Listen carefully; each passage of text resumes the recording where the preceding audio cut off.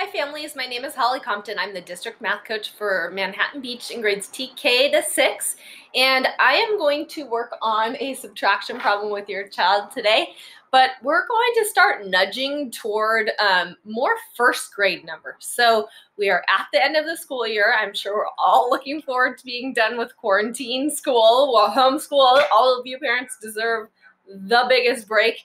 Um, so we're going to start off with a number talk and we're going to make the numbers a little bit harder this time.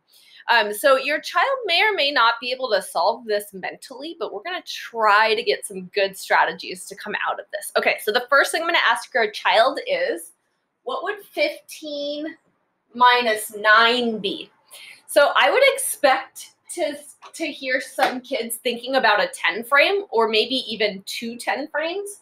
So they probably know that if you fill up an entire 10 frame, that's 10. And if you fill in half of another one, that's 5. And together that makes 15. So they might think about that and then they might visualize nine of them coming off. Either they'll say, I could cross off this whole 10 frame except for that one, and I would have these dots left.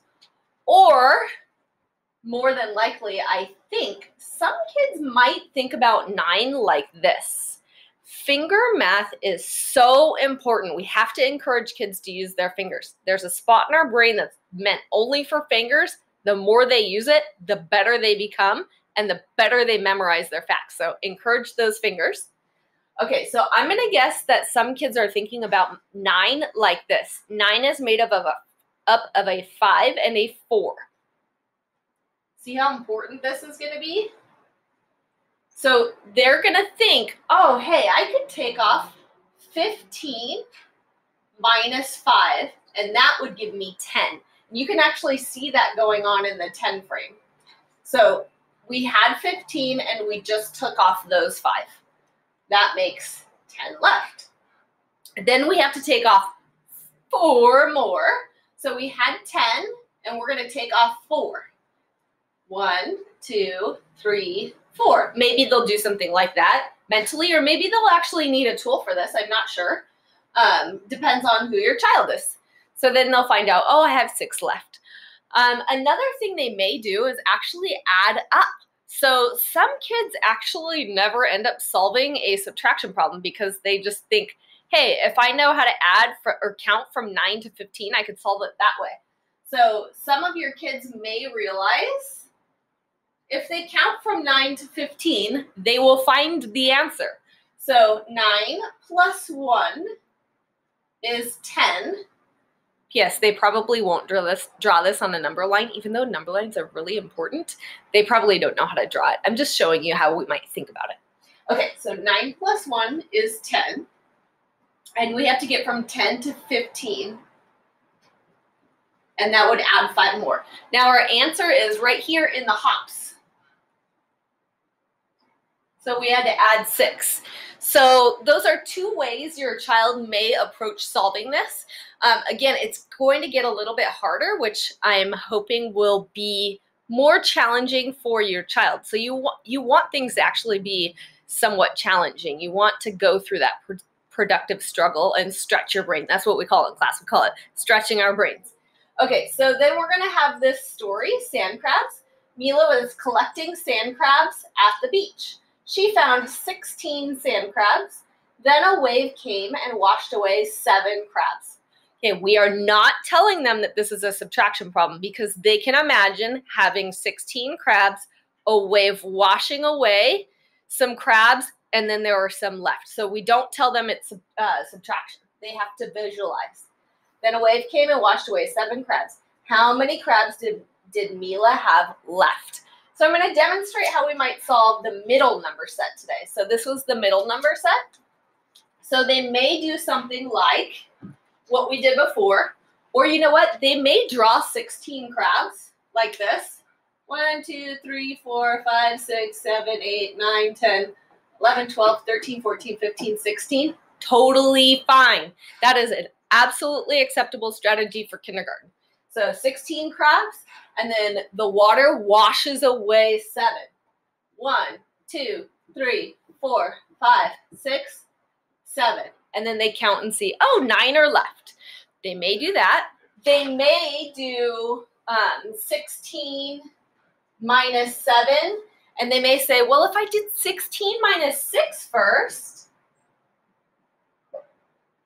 I'd end up with 10, and I'd have one left to take off of the 7. So 10 minus 1 is 9. Again, we are edging into first grade territory. This will probably be a challenge. Don't forget, your child can still choose the first number set. The first number set is a kindergarten number set, and it's totally acceptable for them to do this. And please encourage finger math and encourage drawings if they need to. It's totally fine.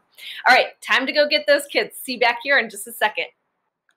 Hi, kids, it's Mrs. Compton, and we are back. Are you ready to do a number talk with me? I hope so. And I'm really hoping I can challenge your brains a little bit with this number talk. So before we start, do you remember this? I bet you do. This is called a, tell me, you're right, it's a 10 frame. And, but I have two 10 frames here, don't I? So if I fill all of this up, that would be 10. And if I added 10 more, I would have 20. So you might actually use something like this in your mind today while you're looking at solving this problem today. So I hope that it stretches our brains out. I hope it's a little bit hard for you because we want math to be a little challenging, right? Okay, so I'm going to ask you to think about what this is 15 minus 9. Okay, so let's all stop to think about it.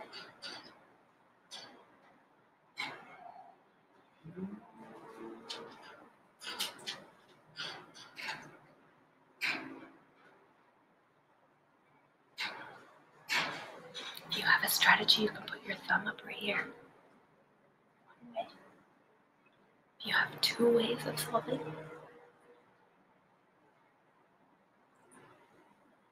All right.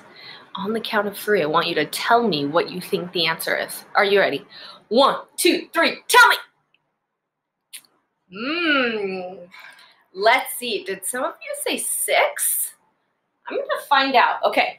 So I'm going to guess some of your strategies. And you have to tell me in the comments if I guessed one of your strategies right or not. Okay, so here we go. I'm going to guess some of you used your fingers and your toes.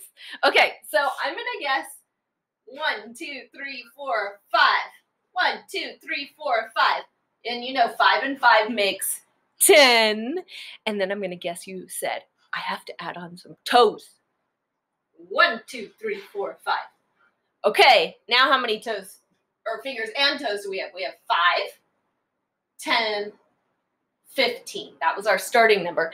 And maybe you thought to yourself, hmm, I have to take off nine.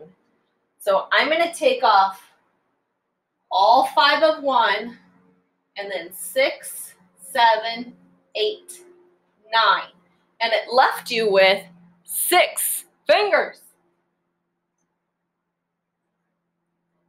Okay, I have another guess. I'm going to guess some of you thought about this. Did you think about this? Let's check this out. One, two, three, four, five, six, seven, eight, nine, ten. Okay, I'm not there yet. I have to go all the way to 15. Okay, I know that's a 10 and that's a 5, and 10 and 5 together make a teen number. And I know you guys have been working on your teen numbers all year. So 10 and 5 make 15. And we have to take off 9. I'm going to guess that maybe some of you thought about 9.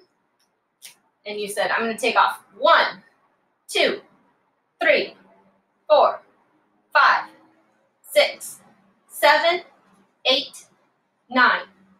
And you counted how many were left. Was that your strategy? I'm trying to guess here. Can you tell me if I got it yet?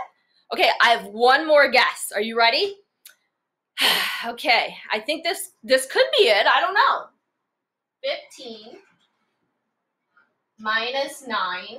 I'm going to guess some of you thought about 9 like this. Did some of you think about it on your fingers? And you saw that a nine is made up of five fingers and four fingers. Mm. So I wonder if you broke apart the nine into a five and a four. I'm wondering if you thought I could do 15. What if I draw a number line? 15, take off 5. 1, 2, 3, 4, 5. So that's one big hop of 5. Take off 5. And you'd land at 10. Did anyone do that? That would be an awesome strategy. I don't know. These are all good. And then, so you said, okay, I've taken off 5. And then you have to take off 4 more. One, two, three, four. Okay, so 10, 9, 8, 7, 6. I don't know. Did I guess anyone's strategy? You have to tell me. I like when people write to me in the comments. Okay, are you guys ready to see our story for today? I'm so excited because I got to see this little person on Zoom today. This person is from Miss Crumb's class. We're going to say hi, to Mrs. Crumb's class. Hi, Mrs. Crumb. We hope you are doing well. All right. So, this person that we're going to say hi to is Mila. Hi, Mila. We miss you. We hope to see you sometime soon. All right, I'm going to cover my numbers just for right now. No sneak peeks. Okay, this story is all about sand crabs. Have you ever gone to the beach and collected sand crabs? Oh, they're kind of gross, but they're kind of fun to collect. All right, so Mila was collecting sand crabs at the beach. She found, hmm, sand crabs. Then a wave came and washed away, hmm, crabs. Okay, let's stop and think real quick in our heads. So let's imagine ourselves at the beach with Mila, maybe. Mila's collecting her sand crabs and she has a whole bunch. But then a wave came and washed some away.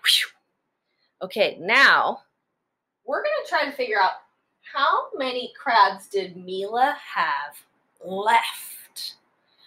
Okay, so I'm going to show you your just right number sets and we're going to read the story again.